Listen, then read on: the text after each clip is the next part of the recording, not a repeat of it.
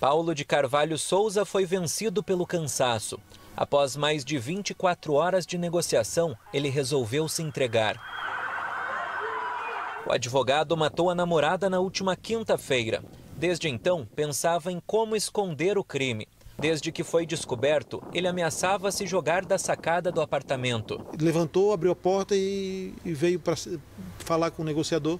Nós entramos na, na sala, ele botou a mão para trás, foi gemado, sentou e começamos a conversar. Um casal admirado pelos amigos, os dois advogados e paranaenses, morando em Balneário Camboriú, Santa Catarina. Paulo de Carvalho Souza, de 42 anos, e Lucimara Stasiak, de 30 anos. Além da profissão, outro gosto comum, a corrida.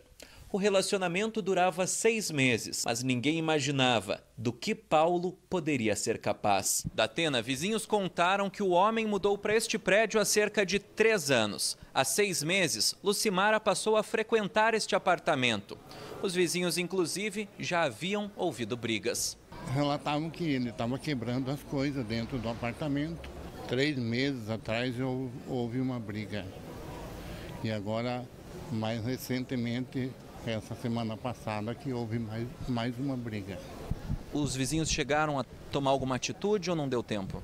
Não, eles acharam que era briga normal de casal.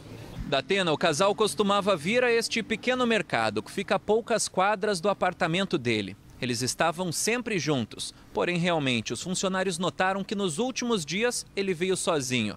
Na lista de compras, produtos de limpeza e muitos sacos de gelo. A desculpa que ele deu para que os funcionários não desconfiassem de nada, que ele ganhou um peixe muito grande e queria utilizar aquele gelo para conservá-lo. Foi a semana passada, acho que de sábado para cá, que ele começou a, a trazer gelo para dentro do, do apartamento Daí houve desconfiança. A polícia foi acionada e veio a confirmação. O pior havia acontecido. Fomos no apartamento do lado e nós vimos que ele estava na sacada já. É, insistimos, chamamos ele, ele daí veio conversar conosco e insistimos, ele não queria abrir a porta, disse que não, tava, não tinha nada de problema. Foi insistido, daí ele confessou que tinha matado a companheira e que queria se matar. Paulo matou a namorada a facadas. Para a polícia, alegou que teve um surto. Ele viu visões, aranhas.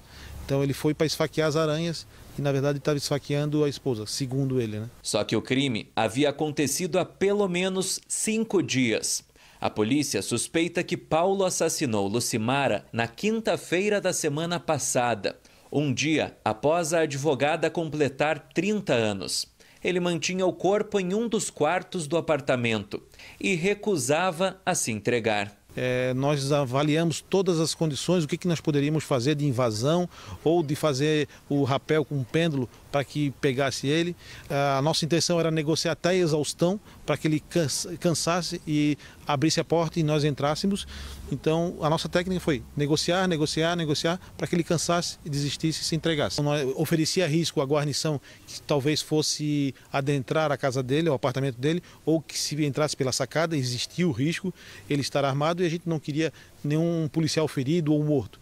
Então a gente trabalhou sempre com a hipótese dele estar armado, porque ele era enfático dizer que estava armado e que ele iria matar alguém, ele ia atirar e ia se matar. Foram mais de 24 horas de negociação. Paulo provocava a polícia, queria que eles invadissem o apartamento, mas foi vencido pelo cansaço. Então foi puxado o lado emocional dele. Então, graças a Deus, ele se entregou, ele simplesmente levantou, abriu a porta e, e veio para falar com o negociador.